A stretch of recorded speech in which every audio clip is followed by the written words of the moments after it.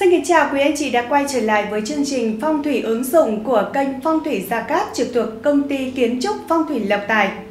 Quý vị thân mến, tử vi năm 2020 của tuổi Giáp Dần sinh năm 1974 dự báo bạn có may mắn về tài lộc, sự nghiệp là tốt, bạn sẽ nhận được kết quả tốt và nhận được lời khen ngợi từ cấp trên. Vấn đề duy nhất là sẽ có những người đố kỵ xung quanh tạo ra rắc rối, sẽ có những thăng trầm giữa các cặp vợ chồng. Hãy cố gắng giải quyết những thăng trầm ngay lập tức. Đối với những người làm kinh doanh thì bạn đang phải quản lý việc làm gia tăng tài chính và sử dụng tài chính sao cho phù hợp. Mệnh chủ tuổi Giáp Dần sinh năm 1974 nạp âm ngũ hành là đại khê thủy, phần lớn là người trung thực cả đời lợi quan cận quý, vật chất đủ dùng. Năm 2020 canh tí nạp âm ngũ hành là bích thường thổ là quan tinh sẽ gặp các loại thách thức và cạnh tranh cũng sẽ có sự mở rộng sự nghiệp và cơ hội để thăng chức. Giáp dương mộc gặp canh dương kim là thiên quan nghĩa là bản thân bị khắc xuất. Những người tuổi giáp dần thì cẩn thận thị phi hoặc lãnh đạo áp chế dẫn đến tinh thần gia chủ bất ổn, thị phi quấy phá cản đường. Phúc tinh sáng chiếu, bản mệnh nhận được sự phù trợ, mọi chuyện diễn ra hanh thông thuận lợi. Người làm kinh doanh thì cần cẩn thận các phương diện về thuế, tránh phiền toái. Với những người làm công chức thì hãy đặt trên bàn làm việc một tháp văn xương hoặc treo một bức thất tinh bát quái trần đồ để kích hoạt sự nghiệp năm 2020. Với doanh nhân thì người kinh doanh buôn bán cần phải chú ý cẩn trọng nhiều về vấn đề giấy tờ, các điều khoản trong hợp đồng nếu như muốn mở rộng kinh doanh hoạt động buôn bán của mình. Về tổng quan vận hàn tuổi Giáp Dần sinh năm 1974 năm Canh Tý 2020. Nam mệnh sinh năm 1974 năm nay gặp thổ tú chiếu mệnh, dễ dàng xuất hiện nhiều tranh chấp kiện tụng, phải cẩn thận các loại vấn đề cùng với giấy tờ liên quan. Lưu ý hợp đồng tới tiền, không cùng người khác lấy tiền làm đảm bảo. Nữ mệnh 1974 năm nay gặp Vân Hán chiếu mệnh, phải đặc biệt chú ý tới vấn đề liên quan về da và phụ khoa. Người tuổi giáp dần 1974 mệnh đại khê thủy năm 2020 vận trình khá tệ. Sự nghiệp bất ổn, khả năng phát triển kém, khó nhận được sự công nhận và tán thưởng của mọi người. Dù rất cố gắng nhưng số lận đận, không có quý nhân phù trợ, áp lực công việc ngày càng lớn, hiệu quả làm việc thì không cao. Do công việc bận rộn, căng thẳng kéo dài nên ăn uống kém điều độ, sinh hoạt không được khoa học, sức khỏe cũng theo đó mà đi xuống. Nếu tiếp tục trong thời gian dài thì sẽ dễ bị bệnh về tiêu hóa, gan thận. Nên tránh hút thuốc, uống rượu bia, ăn ít đồ mặn, đồ dầu mỡ. Từ giữa năm thì vận trình dần khởi sắc hơn có thể làm tốt nhiệm vụ của mình trong công việc. Bản mệnh sẽ được đánh giá cao nhờ sự quyết đoán dứt khoát trong công việc, hiệu quả và chất lượng công việc cũng được tăng cao. Đã nhận là hoàn thành xuất sắc, mang về lợi nhuận không nhỏ cho công ty. Thời điểm cuối năm cát khí vượng, tuổi giáp dần sinh năm 1974 dễ gặp được quý nhân, được đề bạt lên vị trí cao hơn. Bạn cần phải nắm vững cơ hội này trong tay và thể hiện năng lực hết sức mình, khả năng thăng quan tiến chức, tăng lương, tăng thưởng rất nhiều. Cơ hội đến nhiều nhưng nếu không biết nắm bắt sẽ bị vụt mất. Tuổi giáp dần muốn được quý nhân tương trợ cần phải luôn mang theo bên mình pháp khí phong thủy, minh quang pháp bảo và vòng tam hợp quý nhân dần ngọ tuất. Khi được quý thần tương trợ, công việc hanh thông, thị phi và tiểu nhân hại lén sau lưng không còn. Từ đó lộc tài vượng tiến, may mắn trọn đời. Năm 2020 có thể là một năm tốt cho những chú hổ 1974. Xu hướng tăng tổng thể trong cuộc sống sẽ không bị ảnh hưởng bởi những thăng trầm của năm. Về sức khỏe, chế độ ăn uống vẫn là một vấn đề phải chú ý và phải ăn uống lành mạnh. Trong khía cạnh của tình yêu và các mối quan hệ tình cảm, những cuộc cãi vã, tranh chấp gây ra bởi những bất đồng đơn giản có thể ảnh hưởng đến tình yêu của bạn. Vì vậy, hãy cố gắng bình tĩnh. May mắn cho sự nghiệp sẽ gắn liền với tài lộc của bạn một cách quản lý tài chính hợp lý sẽ giúp cho bạn phát triển sự nghiệp và tìm kiếm một luồng gió mới phát triển. Phương án kích hoạt cung tài lộc cho các gia chủ tuổi giáp dần sinh năm 1974. Phương án thứ nhất đó là tuyển chọn nhân sự cho cửa hàng, công ty. Tuổi theo thiên can hóa ngũ phúc, giáp hợp với kỷ, hóa thổ và mùi vào những tháng thìn, mùi, thân, dậu, tuất, hợi, tý, sửu. Tương ứng với đó sẽ là các tháng 3, 6, 7, 8, 9, 10, 11 và 12 âm lịch. Vậy nên nếu như mệnh chủ muốn hợp tác hoặc là tuyển dụng những nhân sự có nạp giáp thiên can là kỷ, có thể tiến hành vào những tháng này. Một số mệnh chủ tuổi kỷ như là kỷ mão 1999, kỷ tỵ 1989, kỷ mùi 1979, kỷ dậu 1969. Tuổi theo tam hợp hóa ngũ phúc đó là dần, ngọ, tuất, hóa hỏa vào các tháng dần, mão, thìn, tỵ, ngọ, dậu, tức là các tháng 1, 2, 3, tháng 4 và tháng 4 nhuận, tháng 8 âm lịch. Nếu mệnh chủ có tiến hành hợp tác làm ăn với những độ tuổi trong bộ tam hợp này thì cần phải chú ý những tháng trên. Nếu có thể tiến hành vào những tháng này thì rất hanh thông, thuận lợi, may mắn. Và một số điều cần chú ý khi chọn tuổi trong bộ tam hợp sẽ là kết hợp với mệnh chủ tuổi tuất, chọn ngày giờ là ngọ và ngược lại nếu mệnh chủ tiến hành kết hợp làm ăn với chủ mệnh chủ tuổi ngọ thì sẽ chọn ngày giờ là tuất. Về tuổi thiên lộc, Tuổi thiên lộc thì mang lại tài lộc may mắn về vận tài chính, sự nghiệp và công danh. Vị trí tốt cho tài lộc có thể là đối tác, nhân viên lễ tân, nhân viên bảo vệ, vợ con. Tuổi thiên lộc được giáp dần sinh năm 1974 sẽ già dần bao gồm các tuổi theo thứ tự ưu tiên như sau. Nhâm dần 1962, Giáp dần 1974, Mậu dần 1998, Nhâm dần 1962, Canh dần 1950 hoặc là sinh năm 2010, Bính dần sinh năm 1986.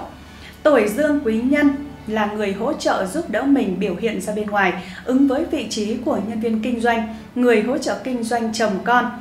Dương quý nhân của Giáp Dần sinh năm 1974 là Sửu, bao gồm các tuổi theo thứ tự ưu tiên, Kỷ Sửu 1949, Ất Sửu 1985, Đinh Sửu 1997, Tân Sửu 1961, Quý Sửu 1973. Tuổi âm quý nhân là người hỗ trợ giúp đỡ phần tiềm ẩn ứng với vị trí nhân viên kế toán, thủ kho, thủ quỹ.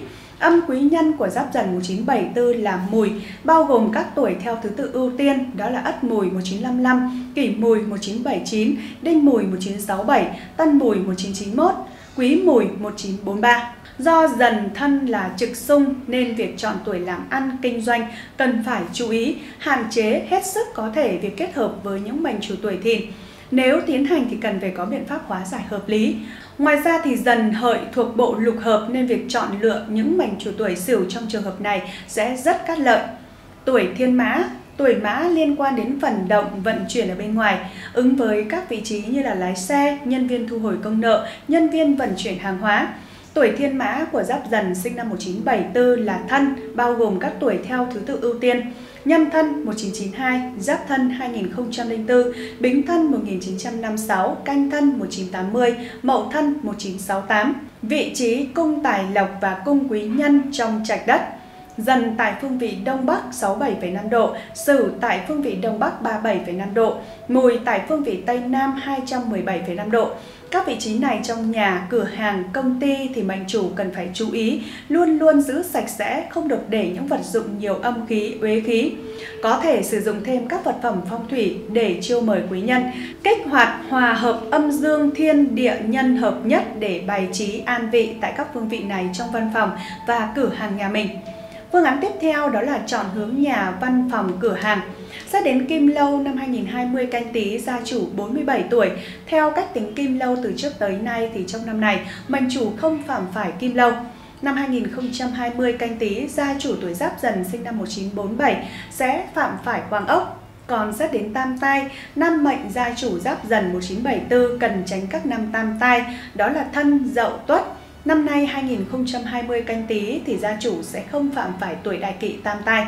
Vậy nên nếu có xây dựng mới thì gia chủ tuổi giáp dần 1974 sẽ không nên đứng ra đồng thổ cho trạch đất nhà mình. Nếu có tiến hành xây dựng mới thì cần phải tiến hành tìm người phù hợp với trạch đất, hợp với tuổi của mệnh chủ để tiến hành đồng thổ. Tiếp theo thì xin mời quý anh chị cùng theo dõi những phân tích của chuyên gia phong thủy về cát hung vận khí từng hướng nhà khi kết hợp với gia chủ tuổi giáp dần 1974. Với nam mạng giáp dần thì sẽ thuộc cung càn kim, sát theo cung mệnh thuộc Tây Tứ Mệnh, vì vậy hợp với bốn hướng tốt là hướng Đông Bắc phục vị, Tây Bắc thiên y, Tây diên niên, Tây Nam sinh khí. Ngoài ra thì cần phải tránh bốn hướng xấu của Đông Tứ Trạch là hướng Nam hỏa hại, Đông lục sát, Bắc ngũ quỷ, Đông Nam tuyệt mệnh. Với nữ mạng giáp dần 1974 sẽ là cung đoài kim, Xét theo cung mệnh thuộc Tây tứ mệnh, vì vậy sẽ hợp với bốn hướng tốt đó là Tây phục vị, Tây Nam thiên đi Đông Bắc diên niên, Tây Bắc sinh khí. Ngoài ra thì cần phải tránh bốn hướng xấu đó là Bắc họa hại, Đông tuyệt mệnh, Đông Nam lục sát, Nam ngũ quỷ. Xây nhà ở hoặc là kinh doanh trên những căn nhà phạm vào họa hại là sao lộc tồn thuộc thổ hướng Tây Nam tượng quái là khôn. Phạm vào thì bị thị phi, quan phi, khẩu thiệt, hao tài tán lộc, bệnh tật, gặp phải tai nạn bất ngờ, dẫn tới tổn thương lớn, cơ thể suy yếu, dễ nản trí, cô độc, nghèo khổ nên xấu vô cùng xây nhà ở hoặc là kinh doanh trong căn nhà không hợp hướng bị phạm vào ngũ quỷ, mà ngũ quỷ là sao liêm trinh thuộc hỏa tượng quái là ly. Chủ về nóng nảy, nhiều tai họa bất ngờ, tranh chấp kiện tụng, con cái khó dạy bị hỏa hoạn, bệnh tật, khẩu thiệt, hao mòn, ruộng vườn, gia súc, tán tài, tán lộc, tổn hại nhân đinh hơn nữa nếu cố tình bất chấp xây dựng sẽ cực kỳ nguy hại cho bản thân. Xây nhà ở hoặc kinh doanh trên những căn nhà không hợp hướng bị phạm vào tuyệt mệnh là sao phá quân thuộc kim tượng quái là đoài phạm cung tuyệt mạng có thể bị tuyệt tự tổn hại con cái, sống không lâu, dễ bị tiểu nhân quấy phá, nhiều khó khăn, tai nạn dẫn tới mất sức lao động, lắm bệnh tật, con cái kém cỏi, dễ có chuyện thị phi, mắc bệnh khó chữa xây nhà ở hoặc là kinh doanh trên những căn nhà không hợp hướng phạm lục sát. Mà lục sát là sao văn khúc thuộc thủy tượng quái lạc hàm chủ về thị phi khiến tâm lý luôn rơi vào trạng thái rối loạn bất an không tập trung vào công việc khiến cho tài vận đi xuống gia đạo nhiều biến động. Các thành viên sinh sống trong nhà thì gặp phải nhiều chuyện không như ý. Việc xây nhà ở hoặc kinh doanh trên những căn nhà hợp hướng được phù vị nên rất cát lành, được xếp vào hàng đại cát đại lợi. Phục vị là sao tả bồ thuộc mộc hướng đông nam tượng quái là tốn, chủ về khoan dung, nam giới coi trọng gia đình, trị ra trước rồi mới bình thiên hạ, ắt sinh quý tử, con cái dễ nuôi, sự nghiệp và công việc hanh thông thuận đạt. Nếu như mệnh chủ gặp nhiều sự không thành, hao tổn tài lộc, đặt cửa giường tài phục vị để hóa giải theo sự tư vấn của chuyên gia phong thủy. Xây nhà và ở hợp hướng được sinh khí thì rất cát lành vì sinh khí tượng là sao tam lang thuộc mộc hướng đông tượng quái là chấn, chủ về nhân ái, tài lộc, lợi cho quan lộc làm ăn mau giàu, nhân khẩu tăng thêm, khách hứa tới đông, lợi cho đàn ông giúp người ta có sinh khí tích cực hướng lên, tượng trưng cho các tường và thuận lợi. Hướng này rất phù hợp cho gia chủ theo đuổi sự nghiệp kinh doanh đến tiến hành mở cửa hàng, công ty, nhà hàng. Xây nhà ở hoặc là kinh doanh trên căn nhà hướng được diên niên là sao vũ khúc thuộc kim hướng Tây Bắc tượng quái là càn, chủ về hòa thuận, lợi về quan hệ xã giao, vợ chồng hòa thuận, hôn nhân dễ thành, nhiều phúc lộc, trung phú, sống lâu, của cải, vợ chồng vui vẻ, nhân khẩu, lục xúc đại vượng. Đây là hướng đẹp phù hợp với mệnh chủ xây nhà ở hoặc là kinh doanh trên những căn nhà hợp được hướng thiên y thuộc sao cự môn thổ chủ quản tại hướng đông bắc tượng quái là cấn, chủ về sức khỏe, giàu có ngàn vàng, không tật bệnh, nhân khẩu, ruộng vườn, số vật đài vượng. Khoảng một năm thì có của vượng tài phát lộc, lợi cho phụ nữ, tính cách khoan dung, nhường nhịn, dễ được quý nhân giúp đỡ. Mệnh chủ tuổi giáp dần sinh năm 1974 cần phải chú ý, chọn được cho mình các hướng nhà, hướng cửa hàng phù hợp với tuổi của mình để công việc được hanh thông, thuận lợi, viên mãn. Kích hoạt tài lộc năm 2020 theo sơ đồ cửu tinh. Các phương vị tốt để kích hoạt khí của sao nhất bạch, bát bạch và cửu tử lần lượt ở phương vị Tây, Tây Bắc và Đông Bắc. Tại các phương vị này trong cửa hàng, mệnh chủ có thể tiến hành đặt các cây tài lộc, vật phẩm, kích hoạt tài lộc để kích vượng khí, nạp phúc khí cho mình. Ngoài ra đây là các phương vị kích hoạt theo từng năm nên mệnh chủ cần chú ý do từng năm sẽ có những thay đổi khác nhau nên các vị trí này không cần phải quá chú trọng để ý nhiều. Các vật phẩm quan trọng thường được bày biện trong nhà, văn phòng, cửa hàng mà gia chủ cần phải lưu ý nhiều hơn. Đó là két sắt. Đây là vật phẩm giúp cho gia chủ thu giữ, tích trữ, chấn giữ tài lộc cho mình. Thường thì cần phải đặt để vào các vị trí kín ẩn, không được đối xung với cửa nhà, cửa phòng. Vị trí đặt để lý tưởng nhất thì thường là đặt vào phương vị tài lộc của mệnh chủ. Về bàn thờ thần tài là vị thần cai quản tiền bạc, vật chất trong nhân gian và cả tiên giới. Chính vì vậy mà người thờ thần tài mong muốn nhận được may mắn thành công trong việc kinh doanh buôn bán. Việc thờ cúng cần phải đầy đủ trang nghiêm. Anh chị hãy cùng theo dõi video hướng dẫn chi tiết của chúng tôi trên kênh và thường thì việc đặt bàn thờ thần tài, các gia chủ cần phải cố gắng đặt vào những cung tốt theo tuổi của mình nhưng đây cũng chưa phải là cách tốt nhất và tối ưu nhất. Việc bố trí, bài trí thì cần phải tuân thủ theo cách cục sắp xếp của các công năng trong nhà, tránh được các xung sát trong nhà. Tại phương vị quý nhân của mình thì gia chủ có thể sử dụng thêm các vật phẩm kích hoạt, hòa hợp, tăng cường vận khí của mình. Nên theo quan niệm của dân gian từ xưa tới nay, cái gốc của tài lộc chính là hòa hợp. Muốn có được tài lộc tốt thì chắc chắn phải có hòa hợp. Nếu không có gốc chắc chắn sẽ như bông hoa sáng nở tối tàn. Ngoài ra thì tại văn phòng làm việc có thể đặt thêm một số cây xanh đem lại tài lộc tạo nên sức sống không gian trong xanh như là cây ngọc ngân. Trong phong thủy thì cây ngọc ngân cũng có ý nghĩa về tiền bạc dồi dào. Đây là loại cây mang đến may mắn thịnh vượng tài lộc cho chủ nhân. Cây ngọc ngân thì có vẻ đẹp thanh thoát, lá và thân nổi bật với màu xanh đốm trắng xen lẫn nhau hài hòa tinh tế, tạo cảm giác thư thái mát mắt mỗi khi ngắm nhìn. Ngoài ra đây là loài cây ưa bóng dâm, thích nghi tốt với môi trường trong nhà và văn phòng làm việc. Cây kim ngân theo quan niệm của người phương Đông là loài cây thu hút tiền tài bởi kim ngân có ý nghĩa là tiền vàng vật chất giàu sang. Vì vậy, đặt loài cây này trên bàn làm việc, chủ nhân sẽ luôn gặp phải may mắn thịnh vượng trong công việc và cuộc sống. Đặc điểm của cây kim ngân đó là có lá xanh quanh năm, đa dạng về hình dáng cây, thích hợp trồng trong đất cả về thủy sinh với nhiều kích thước khác nhau nên đáp ứng được đầy đủ mọi nhu cầu trang trí nội thất. Cây vạn niên thanh hay còn gọi là cây trầu bà vàng có ý nghĩa là mang đến may mắn, sức khỏe và sự vững bền trong sự nghiệp. Lá cây có hình trái tim, đường vân màu vàng trắng đẹp mắt, vì vậy đây là cây phong thủy hợp với những người tuổi giáp dần. Cuối cùng thì trong việc lựa chọn quần áo màu sắc xe phù hợp với mình để tăng cường vận khí, mang lại bình an may mắn, phụ thuộc nhiều vào bát tự của mình.